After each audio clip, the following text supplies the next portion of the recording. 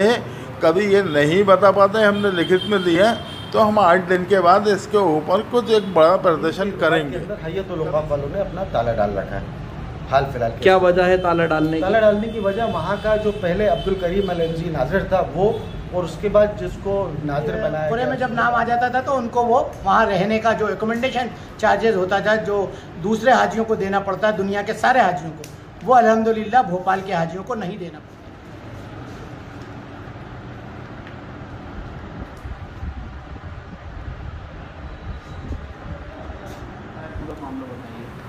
देखो मक्के और मदीने के अंदर भोपाल की रुबादें थी। उसके अंदर तीन चार सालों से ऐसे चल रहा है, हाजी को वहाँ पर रुकने की परमिशन नहीं हो पा रही। अब क्या वजह है, क्या नहीं, लोग वैसे कह रहे हैं, साहब, वो भोपाल से रुबादें छिन गई हैं, भोपाल के हाजी नहीं रुक पाएँगे। और ये तो नवाबी, नवाब साहब की कई हुई रुबादें थी। और उसके अंदर जो ऐसा कौन सी ऐसी वजह आ गई जो वहाँ के लोग मान नहीं रहे रुबादें चली गई? आज हाजी मुसलमानों के भोपाल के मुसलमानों के लिए बड़े शर्म की बात है। जो शाही वक़ाफर इसके ऊपर एक्शन नहीं ले पा रहा। हमने आज़म मियाँ को आवेदन कैसे गई? क्या वजह रही इसके जाने? हैं? चली कैसे गई रुबात? क्या वजह क्या रही? ये वजह ये हम नहीं बताएँगे। क्योंकि हम तो वक़ाफ़ के शाही वक़ाफ़ के अंदर नहीं शाही वक़ाफ़ और सबब ये और आज़म भी ये बताएँगे। वजह क्या रही? और हमारे शहर के लोगों को बताना चाहिए। वजह यह है कभी ये नहीं बता पाते, हमने लिखित में दिया है तो हम आठ दिन के बाद इसके ऊपर कुछ एक बड़ा प्रदर्शन करेंगे। कभी संतोषजनक जवाब आता है, हमारे भोपाल के वासियों को वो जगह रोकने की मिलती है तो ये शाही होगा बता पाएगा। ये तो हमें जो जानकारी मिल रही है उस हिसाब से, ये दस साल से आठ साल से मसला चला जा रहा था। आठ साल पहले भी शर्मिला टेकोराइन से हमने जब भी आवाज़ उठाई थी, ये रुबादों के अंदर कुछ ऐसा हो रहा है। ऐसा हो रहा है। तो आज ऐसी कंडीशन आ गई है, रुबादें भोपाल के नाम से चली गई हैं। आज़म मियाँ को लेटर दिया, आज हमने लिखित के अंदर, हमारे भोपाल शहर के लोगों को राहत मिलना चाहिए, किसी भी तरह से कुछ भी हो, उसकी सही जानकारी शाही औकाफ भोपाल के लोगों को बताएँ। वकाफ शाही के सेक्रेटरी जनाब आज़म खान साहब मौजूद हैं अभी। आज़म जी, जो आपको ये लेटर दिया गया है, जिसमें आपसे बात पूछी जा रही है कि हज करने जो लोग जाते थे, उनको रहने की जगह मिल जाती थी सऊदी गवर्नमेंट की तरफ़ से, जो कि भोपाल रुबात कहलाती थी। क्या मामला था क्या रुबात थी ये? सब पिछले कोविड के सेशन के अंदर, कोविड से पहले तक ये रुबातें दी गई थी। तो उसके बाद दो साल के लिए कोविड आ गया तो कोविड के अंदर पूरा निज़ाम बिगड़ गया और कोविड के बाद ये जो साल हाजियों के लिए रहा, इसमें हज कमेटी की तरफ़ से मना किया गया था कि कोविड गाइडलाइन को देखते हुए हम लोग इस बार रुबातें खुद करके देंगे, ना कि रुबातों का इस्तेमाल। रुबात का सिस्टम क्या था? ये बताया जाता है भोपाल नवाब ने कोई ज़मीन वहाँ दी थी जो भोपाल वालों को ये फैसिलिटीज़ मिलती है खाली दूसरे शहरों के मुकाबले। बिल्कुल मिलती है ये सब चीज़ें बैगमार्क की खड़ी की हुई चीज़ें थी हैं जो दिन ब दिन बढ़ती चली गई और मदीने के रुबात के अंदर हैयत लोकाफ वालों ने अपना ताला डाल रखा है हाल फ़िलहाल क्या वजह है ताला डालने ताला डालने की वजह वहाँ का जो पहले अब्दुल करीम अलजी नाजिर था वो और उसके बाद जिसको नाजिर बनाया गया सुहेल अल मदनी उनको लेकर और वहाँ को कोर्ट में लेकर कुछ प्रॉब्लम चल रही थी। एक तो मैटर ये है, दूसरा पैरल मैटर ये है कि सऊदी गवर्नमेंट वफ़ को लेकर अब उन्होंने अपने कानूनों में कुछ चेंजेस बदलाव किए जिसके बिना पे ये सब चीज़ें परेशानी आ रही हैं। अब हमने अपना एक वकील खड़ा किया है वहाँ, जो इन